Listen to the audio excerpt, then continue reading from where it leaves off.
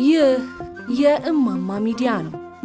ራዕያችን የተዋህዶ ሃይማኖታችንን ማስፋፋት፣ ቤተ ክርስቲያናችንንም መጠበቅ ነው።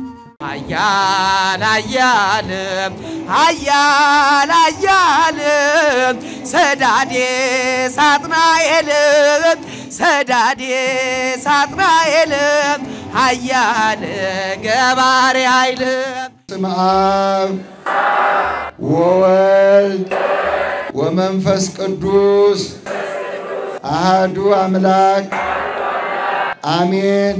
እዚህ መድረክ ላይ ያደረግነው ህዝቡም አብሮ እንዲቀረጽ ነው። የሁሉም መልእክት ለዓለም እንዲደርስ ነው አይደለም? እስቲ እንዲደርስልን በሉ። እጃችሁን ከፍ አድርጉና አዎ፣ አመስግኑት። እግዚአብሔር በደንብ አመስግኑት። በጭብጨባ ነው በለ በስመ አብ ወወልድ ወመንፈስ ቅዱስ አሐዱ አምላክ አሜን። ስብሐት ለእግዚአብሔር ለዘአብጽሐነ እስከ ዛቲ ሰዓት። እንደምን ሰነበታችሁ?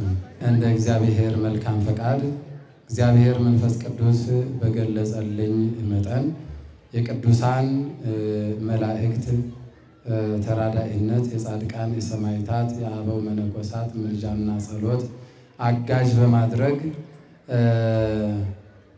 የየካ አባዶ ምስራቀ ፀሐይ ቅዱስ ሚካኤል 24ቱ ካህናተ ሰማይና ሰማያዊት ቅድስት ድንግል ማርያም ቤተ ክርስቲያን ቅድመ አመሰራረትና አሁን ያለበትን ሁኔታ በአጭሩ ለመግለጽ እፈልጋለሁ። ሁላችሁም ከልባችሁ ሁናችሁ እንድታዳምጡኝ በእግዚአብሔር ስም አሳስባለሁኝ።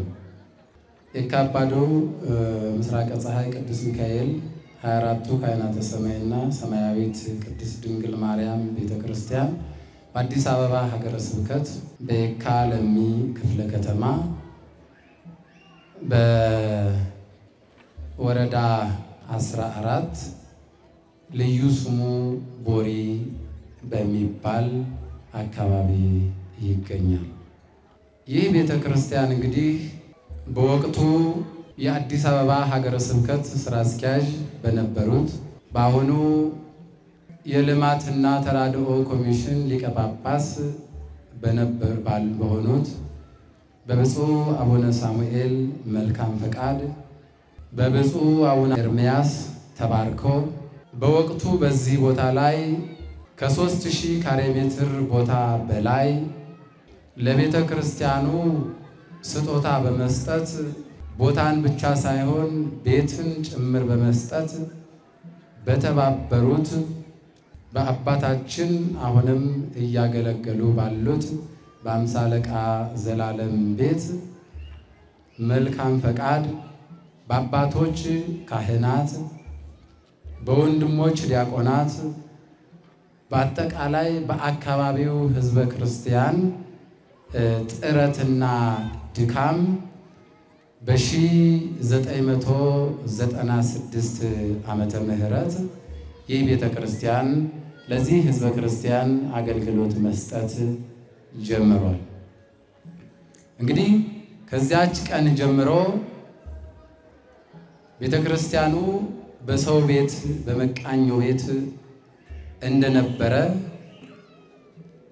ሕዝበ ክርስቲያኑ የኔ ቤት ያማረ ነው፣ የሞቀ ነው፣ በእንደዚህ አይነት ቤት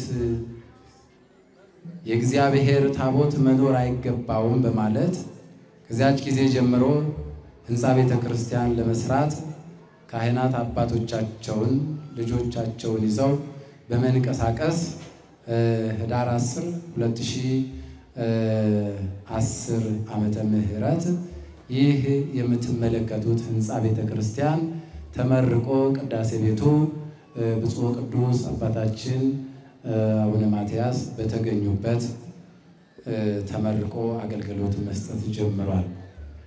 ይህ እንዳለ እንግዲህ ይህ ቤተ ክርስቲያን ከዚያን ጊዜ ጀምሮ መንፈሳዊ አገልግሎቱን በሚገባ እያገለገለ ከጊዜ ወደ ጊዜ አገልግሎት እየሰጠ መንፈሳዊውን ልማት እንዲሁም ደግሞ ኢኮኖሚያዊውን ልማት አባቶቻችን ካህናት እንግዲህ የሚያስፈልጋቸውን ነገር ልማት እያለማ እየሰራ ዛሬ ያለበት ደረጃ ላይ ደርሷል።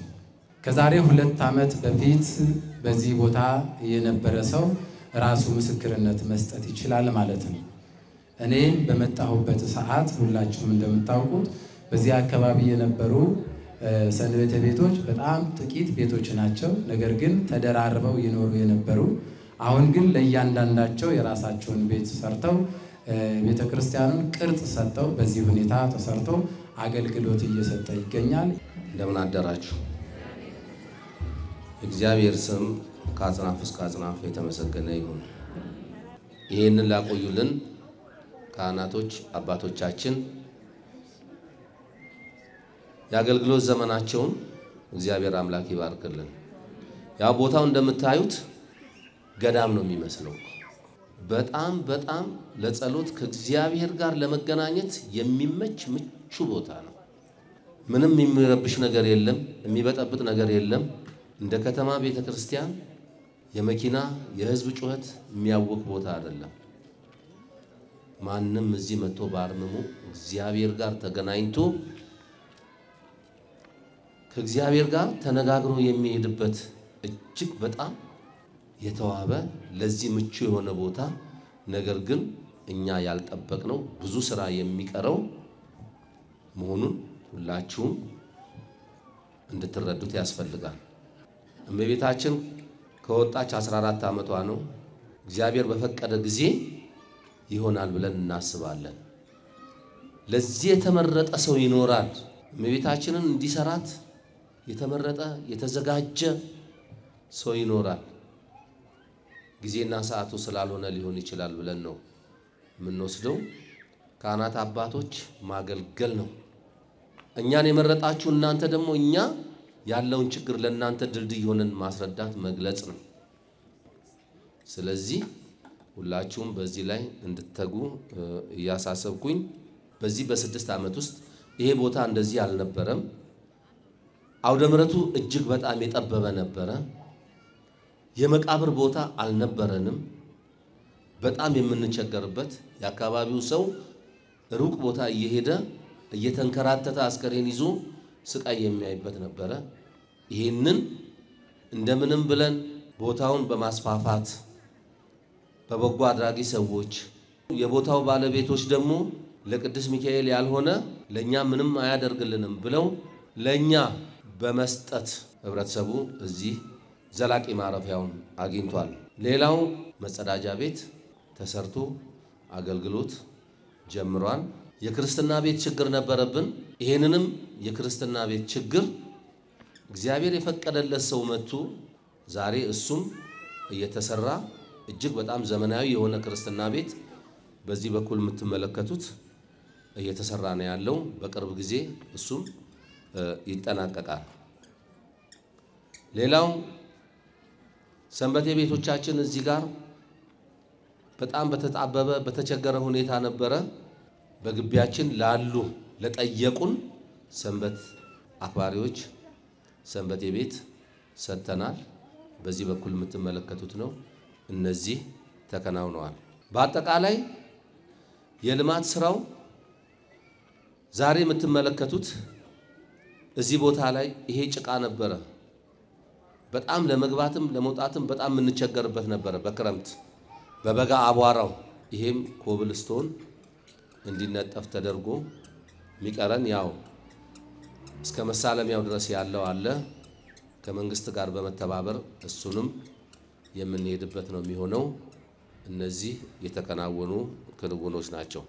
በመጨረሻ በዚህ ልማት ስራ ላይ የተሳተፉ ጊዜያቸውን፣ ጉልበታቸውን፣ ገንዘባቸውን በየጊዜው እያፈሰሱ ይሄ ልማት እንዲከናወን ያደረጉ ምዕመናን አባቶች አሉ፣ እናቶች አሉ። ስለዚህ እነዚህ በጎ አድራጊዎችን እጅግ አድርጋችሁ አመስግኑልኝ። የእናታችን የንጽሕተ ንጹሐን የቅድስተ ቅዱሳን የድንግል ማርያም ሰማያዊት ማርያም ታሪክ ቢነገር ቢነገር አያልቅም። ሆኖም ግን ከብዙ በጥቂቱ አጠር አርጌ ከመጀመሪያው በምን ምክንያት እንደተገኘች ከየት ወደ የት እንደተገኘች ታሪኩን ለመናገር ሞክራለሁ። እናታችን ሰማያዊት ማርያም በ2002 ዓመተ ምህረት አንድ ታላቅ ባህታዊ በእግዚአብሔር ቸርነት በራእይ ተገልጾላቸው ከዚህ ቦታ ላይ መጥተው የእመቤታችን ጽላት በዚህ በሦስቱ ተራራዎች በአንዱ ውስጥ እንዳለ ተነግሮኛል። ይህ ራእይ በተደጋጋሚ ለሶስት ጊዜ ራእይ አይቻለሁና ይፈቀድልኝ ብለው በዕለቱ የነበሩትን አስተዳደር ቢሮ ገብተው ጠየቁ። በሚጠይቁበት ሰዓት በዕለቱ የነበሩት አስተዳደር ሰበካ ጉባኤውን ተመካክረው እግዚአብሔር ከፈቀደ እግዚአብሔር ከወደደ ይግለጽልዎትና እኛ ደስተኛ ነን፣ ፈቃደ እግዚአብሔር ይሁነው ብለው በመልካም ፈቃድ ፈቀዱላቸው። ከዛ በመቀጠል እንዲህ ታላቅ አባት በሉ እሷ ወደ ተገለጸችልኝ ቦታ አሳያችሁ ዘንድ ተከተሉ ያሉ። በዛን ሰዓት እንዳጋጣሚ የቤተ ክርስቲያኑ ቄሰ ገበዝ እኔ ነበርኩና ካህናቶችን፣ ዲያቆኖችን አልባሳት አለበስን። ብዙ ሕዝብ ነበረ። በዛን ሰዓት ተከተሉ ያሉ። በጣም ታላቅ የሚሆን ድንጋይ ሁለት ሰው የማያነሳው ብቻቸውን አንስተው ተሸክመው ከዛ መካከል ሲደርሱ ያንን የተሸከሙትን ድንጋይ አወረዱት። ከዛ ካወረዱት በኋላ እመቤታችን የተገለጸችልኝ ከዚህ ነው ያለችው አንዴም እስከ ሶስቴ ድረስ ራእይ ያየሁት ቦታ ከዚህ ቦታ ነው ብለው እዛ ቦታ ላይ አሳዩን። አሁን ቀና ብላችሁ የምታዩት ድንኳን እንትን ነገር ባንዲራ ነገር ይታያል። እዛ ስር ላይ ነው። ከዛ ሲነግሩን ቀጥታ ወደ ቁፋሮ አይደለም የገባ ነው። ከዛ አባቶች ለብሰዋ ነይ ጸሎት ውዳሴ ማርያም ሙሉ ውዳሴ ማርያም መልካ ማርያም መልካ ኢየሱስ አደረስን። ከዛ ስርዓተ ቅዳሴ አደረስን። ከዛ በኋላ ምህላውን ጸሎቱ ቀጠለ። ያን ጸሎቱን ካከናውን በኋላ ዝም ብሎ መቆፈር አይቻልምና ለአንድ ሱባኤ እንግባ ብለው ይህን መልእክት አስተላለፉ። እንደተባለው ሱባኤ ተገባ። ከአንድ ሱባኤ በኋላ ቁፋሮ ተጀመረ። የተመለሰ አፈር ያስታውቃልና ወደ ታች ስንወርድ አፈሩ መሬቱ እየላላልን ስንል ስንል በዚህ መካከል እያለን እንደ አጋጣሚ ደግሞ ምን ታሪክ ተሰራ መሰላችሁ? ይሄን በመረዳት ከዚህ እምነት ውጭ የሆኑ ሰዎች ልክ ስድስት ሰዓት እኛ ቁፋሮ ጨርሰን ወደ ቤታችን በምንመለስበት ሰዓት ሁለት ከዚህ እምነት ውጭ የሆኑ ሰዎች ታሪኩን ስለሰሙ አውጥተው ዶማና አካፋ መቆፈሪያ ይዘው ሲሄዱ እመቤታችን አንድ ታሪክ ሰራች። ልክ መሃል ላይ መንገድ እንደደረሱት ስድስት ክንድ የሚሆን እባብ መንገዱን ላይ ዘጋባቸው።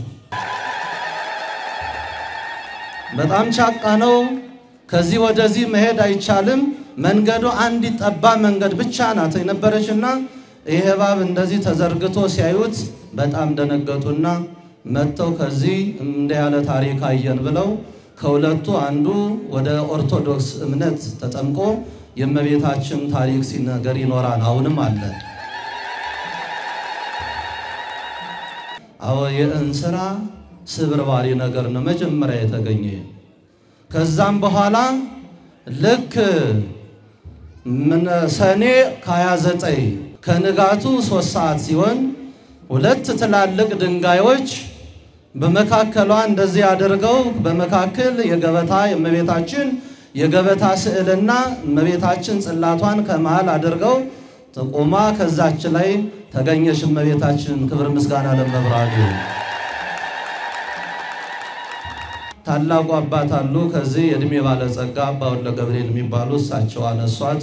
ከዛ እመቤታችን ጽላት ሲነሳ ከዚህ የነበረው ጠቅላላ መንፈሱ ዋይ ዋይ ማለት ጀመረ። ገና ገና ሳትመጣ ይዞ ከዛን ይዞ እንዳጋጣሚ ወረድ ብላ ከድንኳን ተተከለች።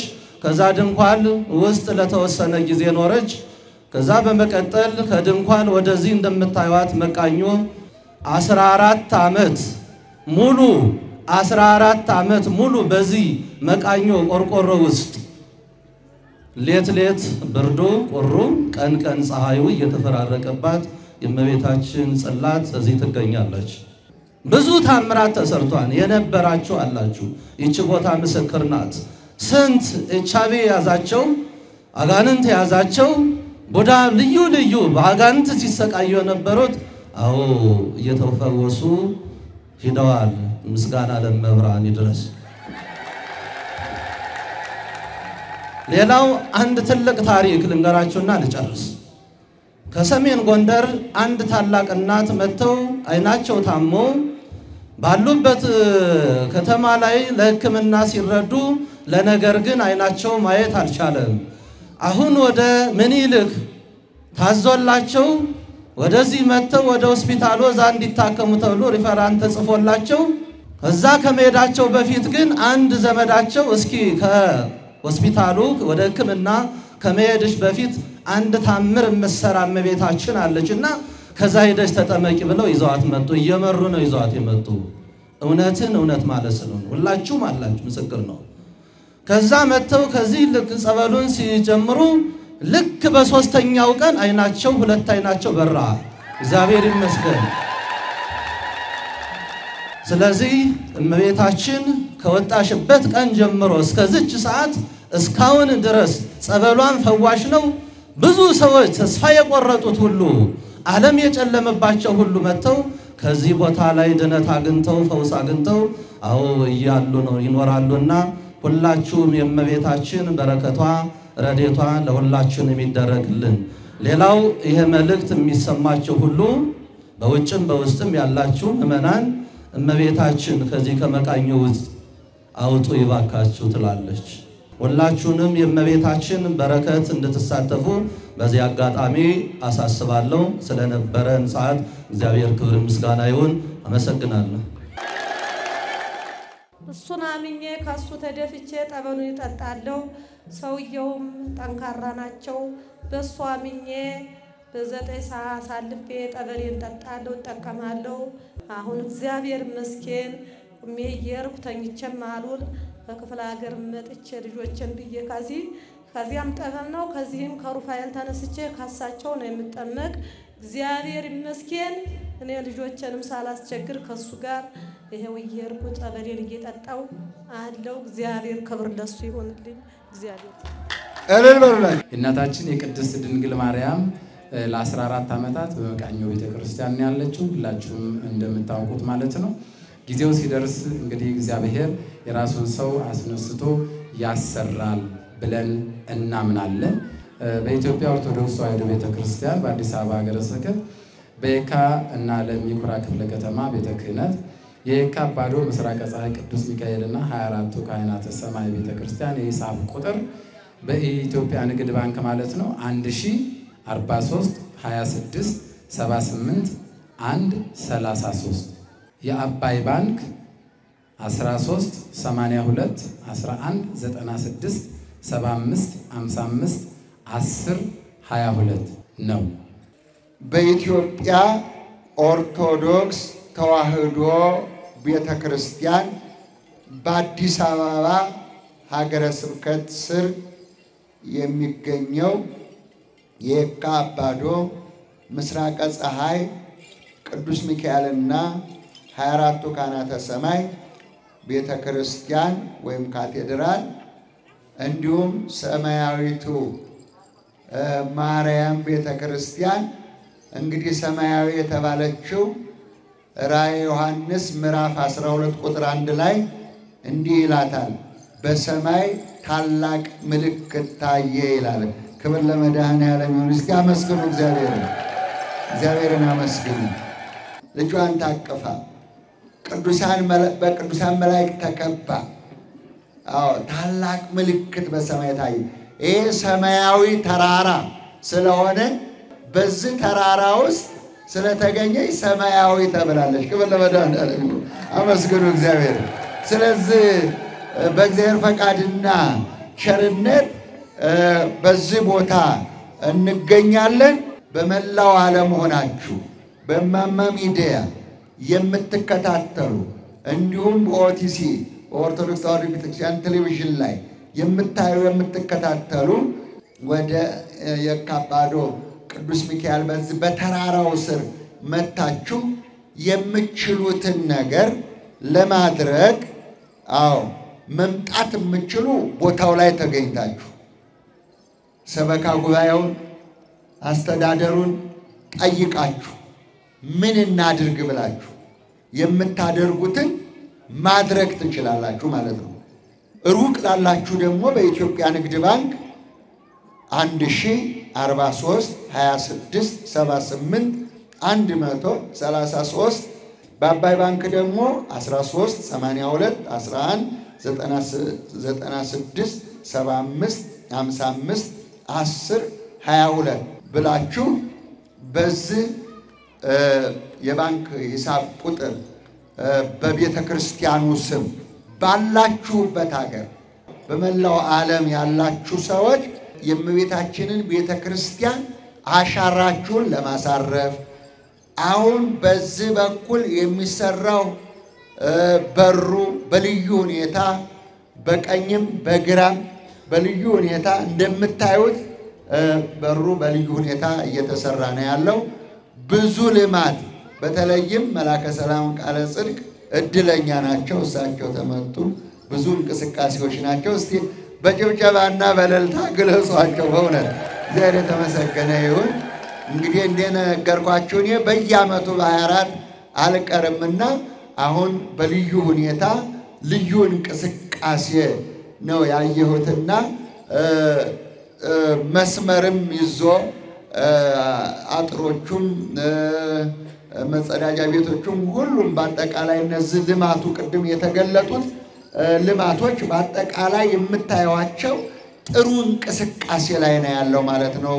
ሰበካ ጉባኤው እግዚአብሔር ይመስገን፣ አመስግኑ እግዚአብሔርን። ክብር ለሱ ይሁን። ትልቅ ነገር ነው። ስለዚህ እኛ የምንሰራው በነፃ ሚዲያውም በነፃ የሚከፈለን ነገር የለም። የምናስተምረውን በነፃ የምናገለግለውን በነፃ የተለመደውን አገልግሎታችሁን የምትሰጡ ሁላችሁም ብዙ አላችሁ። ቤተክርስቲያንን የምትረዱ ከገጠሪቱ ቤተክርስቲያን እንግዲህ ከምንለው ማለት ነው ወጣ ያለ ከአዲስ አበባ ወጣ ያለ በተራራ የተከበበ ልዩ የሆነ ቦታ ነው። የቅዱሳን ቦታ ነው። ልዩ ቦታ ነው። ግን ሁሉ ነገር የተሟላለት ቦታ አይደለም። ወጣ ያለ ቦታ ቅድም አስተዳዳሪው እንዳሉት አጥር የሌለው ገና ያልተስተካከለ ቦታው ያልተስተካከለ ነው። ቤተ ክርስቲያኑ ብቻ ነው ያለቀው እንጂ ገና ዙሪያው ምንም ያልተስተካከለለት ስለሆነ እንደዚህ ወጣ ያለውን ቦታ እንደተለመደ ወጣ ብላችሁ ሀብት ያላችሁ ገንዘብ ያላችሁ በአስተሳሰብም በሙያም በገንዘብም በማተሪያልም አቅም ያላችሁ ሰዎች ወደዚህ መጣ ብላችሁ ቦታውን እያሳየናችሁ ስለሆነ እየመጣችሁ ምን ላድርግ ምን ልስራ በሚለው አሻራችሁ እንድታሳርፉ የኢትዮጵያ ኦርቶዶክስ ተዋሕዶ ቤተክርስቲያን ጥሪዋን ታስተላልፋለች። በተለይም በተለይም የየካ ባባዶ ምስራቀ ፀሐይ ቅዱስ ሚካኤልና አራቱ ካህናተ ሰማይ ሰማያዊት ማርያም ቤተክርስቲያን ጥሪዋን ታስተላልፋለች። አመሰግናለሁ። አመስግኑ እግዚአብሔርን።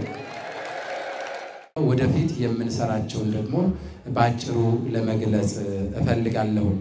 እንግዲህ ቅድም እንደነገርኳችሁ የእናታችን የቅድስት ድንግል ማርያም ቤተ ክርስቲያን ከዚህ መቃኞ ቤት 14 ዓመታትን እንግዲህ ቆይታለች። ከዚህ በኋላ ደግሞ ይበቃል፣ በቃኝ፣ ቤቴን ስሩልኝ ያለች ይመስላል። ብዙዎችን ቀስቅሳለች። ብዙዎች መጥተው ቢሮ ነግረውናል። ብዙዎቻችን እኛ ልንሰማቸው በማንፈልገው አይምሯችን ሊቀበለው በማይችለው በሚከብድ ቋንቋ ሁሉ ነግረውናል። ነገር ግን ጊዜ ሳንሰጥ ዝም ባልን ቁጥር በእኛ ላይ ሌላ ችግር እስኪፈጠር ድረስ መጠበቅ የለብንም እና እኛም መልእክታችንን ማስተላለፍ ግዴታ ስለሆነብን ነው ወደዚህ የመጣ ነው እና የእመቤታችን ዘመናዊ የሆነ ቤተ ክርስቲያን እንግዲህ ባገኘነው ቦታ ላይ እግዚአብሔር በፈቀደው ቦታ ላይ ድንግል ማርያም ደግሞ በወደደችው ቦታ ላይ ለመስራት ዝግጅታችንን ጀምረናል። እንግዲህ የቤተ ክርስቲያኑን ፕላን ከዚህ ቀደም ተሰርቶ መጥቶ ነበር። አሁን ደግሞ በአዲስ መልክ ፕላኑን ለማሰራት በሂደት ላይ ነው ያለነው።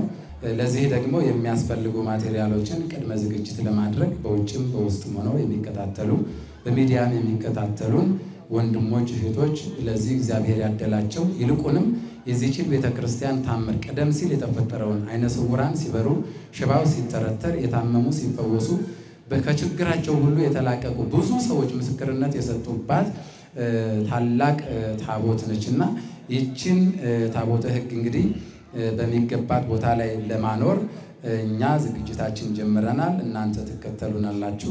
በገንዘብ በእውቀት፣ በሀሳብ ልዩ ልዩ በሆነ ስጦታ ሁሉ ከጎናችን እንደምትሆኑ እናምናለን። ለዚህ ደግሞ ይህንን ቤተ ክርስቲያን ለመስራት ዕቃ ቤቱን ለመስራት የጸበል ቤቱን ለመስራት ሌሎች የሚያስፈልጉ ምዕመናንና ምዕመናት ሁላችሁም የምትገለገሉባቸውን የአስተዳደር ጽሕፈት ቤቶችን ሁሉ በዚህ ቦታ ላይ እንደ ሌሎች አድባራትና ገዳማት የተሻለ ለአገልግሎት ምቹ የሆነ ለስብከተ ወንጌል ምቹ የሆነ የተለየ ብዙ ምዕመናንና ምዕመናን እዚህ ቦታ ላይ መጥተው በስርዓተ ተክሊል በስርዓተ ቁርባን ተጋብተው ሰርጋቸውን የሚያደርጉበት ትልልቅ አዳራሾችን ሁሉ በዚህ ቦታ ላይ ለመስራት ሀሳባችንን እንግዲህ ቀርጸን እቅዳችንን አውጥተን እየተንቀሳቀስን የምንገኙ። ለዚህ ደግሞ ድንጋይ ያስፈልጋል፣ አሸዋ ያስፈልጋል፣ ጠጠር ያስፈልጋል፣ የተለያዩ ብረቶች ያስፈልጋሉ። ባለ 16፣ ባለ 14፣ ባለ 12፣ ባለ 10፣ ባለ 8 ቤርጋ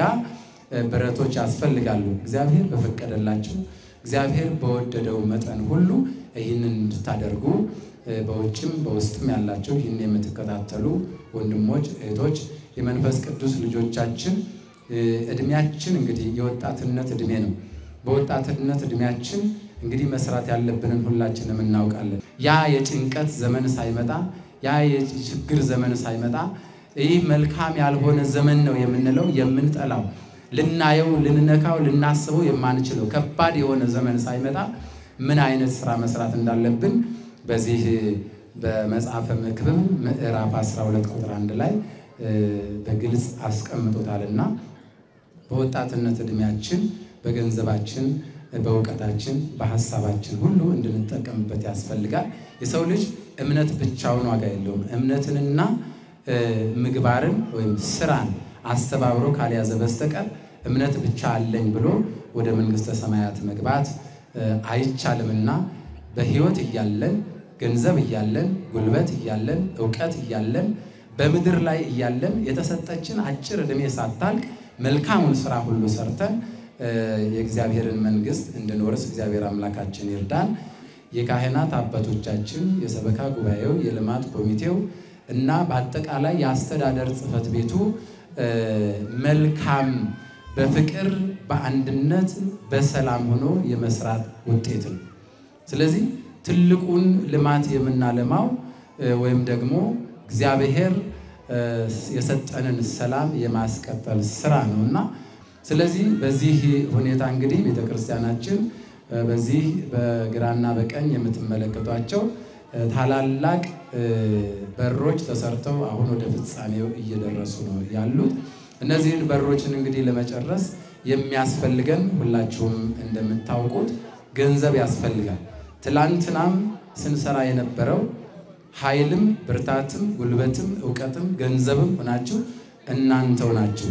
በውጭም በውስጥም ሆናችሁ በሀገር ውስጥም በሀገር ውጭም ሆናችሁ ይህንን የምትመለከቱ ወንድሞቻችን፣ እህቶቻችን፣ የመንፈስ ቅዱስ ልጆቻችን፣ አባቶቻችን ሁላችሁም ይህንን ቦታ ለማገዝ እንግዲህ ቤተ ክርስቲያናችን ሁልጊዜም ጥሪዋን ታስተላልፋለች። አቤቱ የሰራዊት ጌታ ቅዱስ እግዚአብሔር ሆይ ሀገራችንን ኢትዮጵያን ጽኑ ሰላም እንድታደርግልን ሕዝባችንን ከመከራ ሥጋ ከመከራ ነፍስ እንድትሰውርልን የታመሙትን እንድትምርልን የሄዱትንና እንግዶች የሆኑትን አባቶቻችን መርተ በሰላምና በጤና ወደ ቤታቸው እንድትመልስልን እዚህ ያሉትን የቆሙትን የተሰበሰቡትን በጎ ሀሳባቸውን ሁሉ እንድትፈጽምልን የታሰሩትን እንድታስፈታልን እኛንም በጾም በጸሎት በፍቅር በአንድነት በመስማማት እንድታጸና ከመልአኩ ከቅዱስ ሚካኤል ረድኤት በረከት እንድታሳትፈን ሰዓተ ሌሊቱን ባርከህና ቀድሰህ